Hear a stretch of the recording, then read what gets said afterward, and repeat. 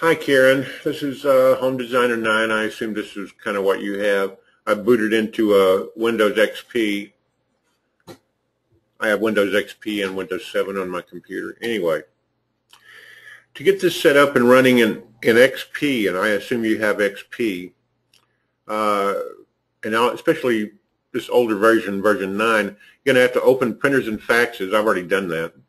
But it's over here under, you know, printers and faxes. And uh, Home Designer 9, the largest size piece of paper it'll print to is legal. So you open the printing preferences for something that'll print to that size. I've got another printer that prints legal, but uh, I'm just going to use this PDF printer for that. And you set it up to, I, I commonly use landscape, portrait, landscape. and then I set the paper size here. When I set it to A3, um, you know, the software rejected that. You got, I got an error message, so I'm not going to go there. I'm just going to set it to what size paper that uh, Home Designer 9 actually natively prints to. So I've set the printer up for landscape and uh, legal, 8.5 by 14 in Windows. And then you uh, open Home Designer 9 and go to File, Print Page Setup. I didn't get an I didn't get a uh, error message this time. I could go here over here and set it to A3, but then I get this. Selected page is not supported, you know, so don't go there. It doesn't do that. You'll have to upgrade to uh, at least architectural or suite I think uh, 2014 uh, Suite, Architectural, and Pro all uh, support tabloid or 11 by 17 or A3, whatever you want to call it. But we're just going to go with what this, what your software will do, and that's legal. So I went to Page Setup, File, Page Setup, Print, Page Setup, and just set that up so that it agrees with how I set my print drivers in, in Windows XP. Here's a little printer thing. You can do it from uh, your software. It's the same thing. Set to legal. And you want all those orientations set the same. now, I don't have a model here, so I'm going to put something, draw some, I'm just going to draw a box. So I have something to, the software draws at a scale of one foot equals one foot. And uh, the uh, soft when you print a paper or print a PDF and that that one foot equals one foot has to be scaled down to fit on a piece of paper. That eventually a PDF is designed to be printed to paper on it with ink and so forth. So let's go over here to print. Okay. Uh, have I forgotten how to do this? Let's yeah, print preview. That's right. All right. Now at basically what I just did, I, I clicked on print preview. Now let's go to a dimension tools and uh, you'll see that measures uh, 34 feet by uh, 56 feet. But this is in the program scale of one foot equals one foot. At why this little white sheet of virtual paper is the size that it is. I want you to understand this. You go over here to File, excuse me, Page Setup, and it's, it's at a quarter inch scale. So the, the box that I drew at quarter inch scale is too big for the paper. So I'm going to change the scale to half that size. Click OK. See, now, the, now the same box that's, uh, let me, let me auto dimension the thing. Uh, make these dimensions larger so you can read them. I'm shift selecting them. I don't know if, okay, shift selecting doesn't work in Home Designer now. Never mind. I'm going to make these dimensions a little bit larger. Make that uh, 30 inch, 30 inch tall. I didn't, that's interesting. Didn't change. Oh, the arrows, the arrow size is changing. I see.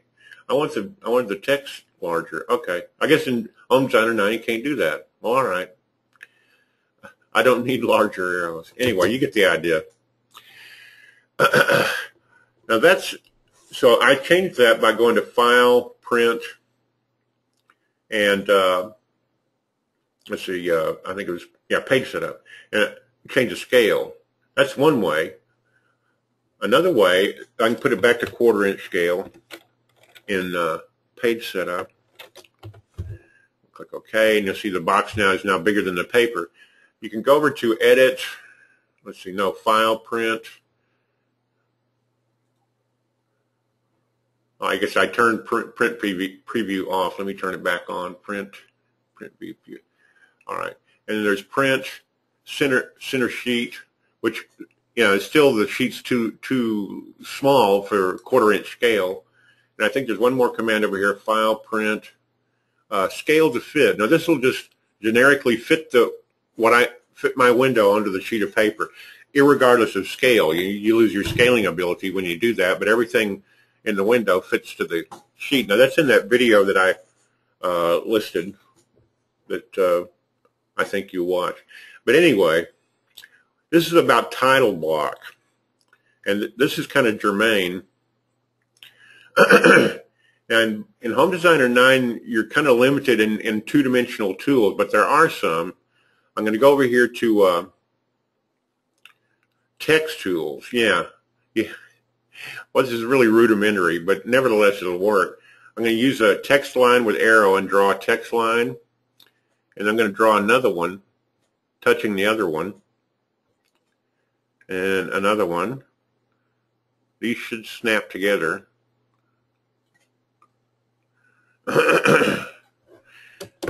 That's your title block. Now it's just four arrows basically just, you know, melded together. But, you know, it's title block's a title block's a title block. That's a title block. And, uh, yeah, the only CAD tools you have uh, in Home Designer 9 are the text and text with arrow. But I, we'll just work with text with arrow, well, the arrow, arrow tool. I'm going to draw an arrow here. I don't know if I can turn the arrow off and just make it into a line or not. Okay. That's the choices I have for arrows. What if I can just uncheck default? No, that didn't do anything. Uh, there's some way I can get rid of that arrow. Well, I guess I'll just put arrows on both both ends. I mean, Home Designer 9, you can't uh, you you can't be picky, or you can be picky, but then if you if you insist on being picky, then uh, you're just going to have to upgrade to uh, software with greater abilities. That line's not straight, doesn't look straight. We don't have a parallel tool.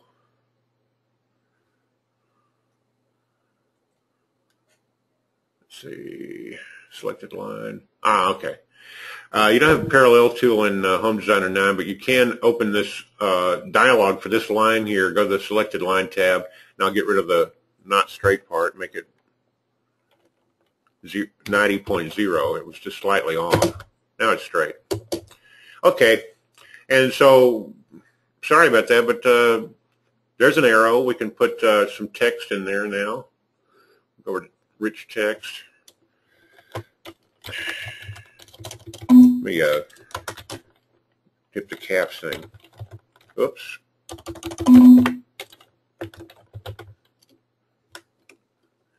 We'll put some text there. That's too small. Make that bold, make it, uh, let's see, how much larger? That's 6. I think at least 12. Good Lord. Well, the tools in uh, Home Designer 9 are just really rudimentary compared to Pro. And uh, I, you notice I just ignored that, uh, that that error message that came up. I don't care what it says or what it means.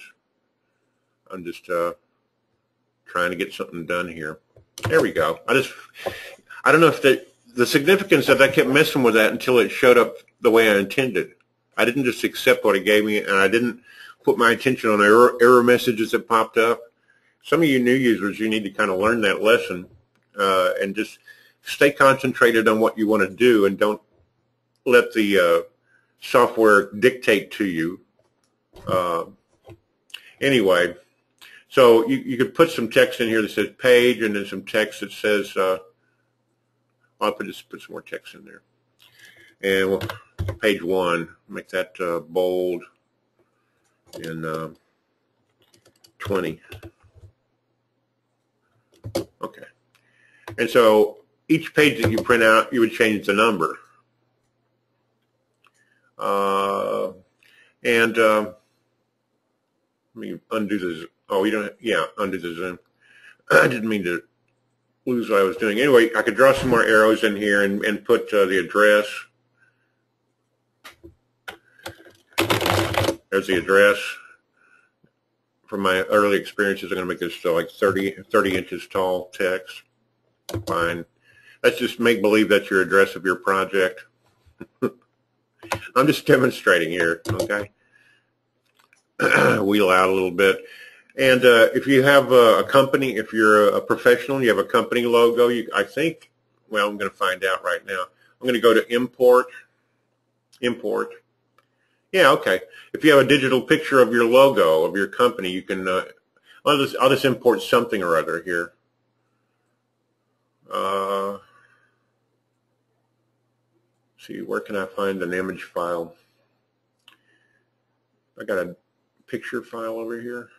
I just don't remember. I don't use XP very much. I use Windows 7 all the time. You can see only older stuff is on, is on the my XP drive. My pictures. Maybe there's something in there I can uh, import. It's just to demonstrate that you, if you have a digital image or a JPEG or something like that of your uh, of your uh, company logo, then you can do this. I just oh, that's that's fine. Okay, that's my logo. We'll import that. There's a huge thing. And with an image file, I've shown this in some of my other tutorial videos. Uh, if I need it smaller, I'll grab an edge handle and uh, it'll keep, it'll maintain the uh, integrity of the image and just make it smaller. And then there, see this little triangular thing? That's a rotate handle. So I'm going to put my logo over here.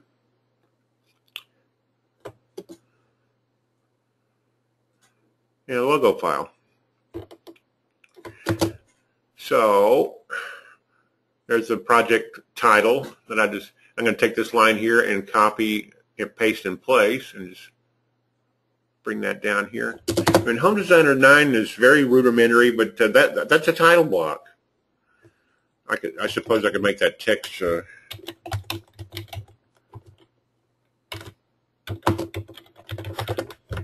okay, fine. That's better than just some gibberish. But you get the idea. Um, yeah. Okay. So now when I print this, there's the title block, and uh, I could, if this is a, let, us let's create a create a second story. All right, we'll go here to build, floor, build new floor, derive. I'm just going to do it quickly. There's a second floor, but where my title block's gone. Well, I'm going to press the shift key and then draw marquee select around that stuff there and copy it. Use the copy command over here. And then go up to the second floor using the floor toggle and then go to the edit, paste, paste hold position. Okay. You'll see what copies. Everything copied. I don't know what that error message was about, but it, everything didn't copy. But all the stuff I wanted to copy page. Now this would be uh, probably your page two. You, you could change that numeral there to uh, from one to two. Okay, so there's the second floor. And uh, this living area thing, if you want it turned off, just go over to Plan Defaults. Uh, I was going to click on this arrow here, but it doesn't work in Home Designer 9 like everything else. I guess you would go over to uh, yeah, Edit Default Settings. Uh, where is that plan, I guess? Well, I just don't know everything. If I don't, if I didn't want the living area to show, I, I would just either delete it or just drag it off the sheet so it's not going to print. Anyway, you could add text down here saying that this is such and such a scale and this is a second floor and then such and such a scale. Drag that off. Leave it on there if you wanted. And That's it. I mean, it couldn't be more straightforward. Now, this is arrows instead of instead of straight lines. Now, the the title block worked okay, but but divider lines and so forth, you're going to have to have arrows on each end. I'm sorry. That's about it. If you want fancier stuff, you have to pay fancier money. But in any case, I, I hope this helps you and anybody else who uh, has one of the less expensive programs, and they, but they still want to print something that looks rather professional. Uh, I mean, I could be I could be more careful with my uh, fonts and uh, uh, things like that and make this prettier, but I, I'm just trying to uh, demonstrate the basics here to get you started because you said you had no clue. Well, now you have a clue, okay? And that's it. That's the end of the tutorial. Thank you.